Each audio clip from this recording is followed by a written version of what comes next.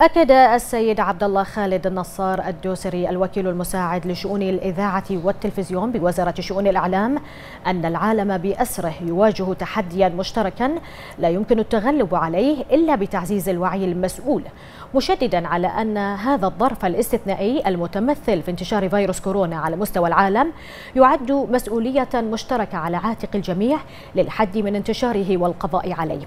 وأوضح الوكيل المساعد لشؤون الإذاعة والتلفزيون أن وزارة شؤون الإعلام وبتوجيهات مباشرة ومتابعة حثيثة من سعادة السيد علي بن محمد الرماحي وزير شؤون الإعلام أنتجت خلال 30 يوما منذ الإعلان عن أول حالة إصابة بفيروس كورونا في مملكة البحرين أكثر من 500 تقرير إخباري و240 حصة تعليمية تلفزيونية و60 فاصلا توعويا للتلفزيون والإذاعة ووسائل التواصل الاجتماعي لتعزيز الوعي لدى أفراد المجتمع بجهود وزارات ومؤسسات الدولة والسبل الناجعة لمواجهة فيروس كورونا المستجد. ما يؤكد الدور الوطني المسؤول الذي تلعبه الوزارة كأحد الخطوط الدفاع الرئيسية لمواجهة هذا التحدي العالمي. وأكد الوكيل المساعد أن هذه الأرقام المتميزة تعكس حرص الوزارة بمختلف كوادرها البشرية والفنية على استمرار أداء الواجب الوطني المنوط بها بروح الفريق الواحد وفي مختلف المواقع والظروف لمواجهة هذا التحدي بالوسائل المتاحة كافة.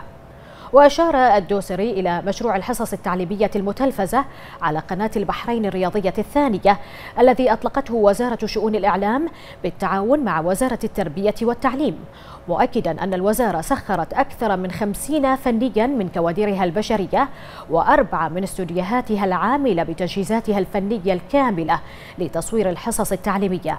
ويعمل فنيوها بالتعاضد مع كوادر وزارة التربية والتعليم حتى الآن لإنتاج المزيد من الدروس التعليمية.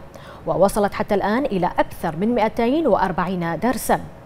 وتوجه الوكيل المساعد لشؤون الإذاعة والتلفزيون بخالص الشكر والتقدير لسعادة وزير شؤون الإعلام على الدعم الكبير الذي يلقاه قطاع الإذاعة والتلفزيون من سعادته لأداء مهامها الوطنية على الوجه الأكمل. ولجميع وزارات ومؤسسات الدولة على تعاونهم الكبير وجهودهم الوطنية المقدرة. مؤكدا أن ما تقدمه وزارة شؤون الإعلام عبر أثير إذاعاتها وموجات قنواتها ما هو الانعكاس للجهود الوطنية الدؤوبة التي تواصل الليل بالنهار في كل بقعة من هذا الوطن العزيز لتحقيق الأهداف الوطنية المشتركة. تولت وزارة شؤون الإعلام وضع المشاهد أولا بأول بصورة التطورات والمستجدات المتعلقة بخارطة تطور وانتشار الفيروس داخل حدود المملكة وخارجها. عبر تقارير إخبارية وبرامج تلفزيونية على كعب مهنيتها وارتفع سقف طرحها وتوسع نطاق شموليتها في تناولها وتبيانها لمتنوع الإجراءات والتدابير الوقائية التي فرضتها الجهات الحكومية المعنية وسارعت نحو تطبيقها لمكافحة والتصدي لخطر داء كورونا المستجد حرصا منها على صحة كل نفس بشرية تعيش بسلام تحت سماء أرض الخلود المعطاءة.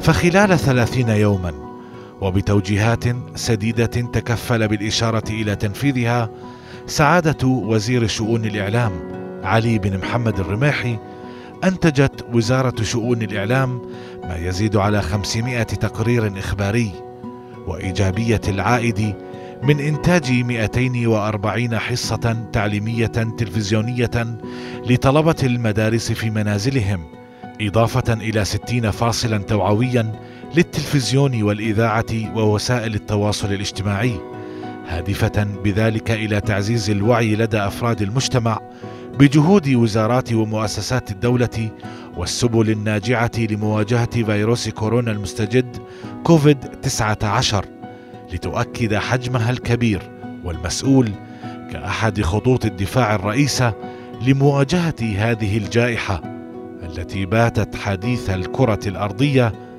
إن نطقت حصيلة ما تم ذكره سابقا. لم يكن لولا جهود من يرون في موقع عملهم وطنا يحمونه ويحافظون عليه بالحرف والكلمة لمواجهة هذا التحدي الوبائي بالوسائل المتاحة وبالإمكانات البشرية المؤهلة والفنية المتطورة منها.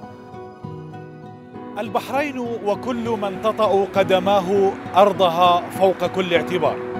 لتلفزيون البحرين محمد رشيدات.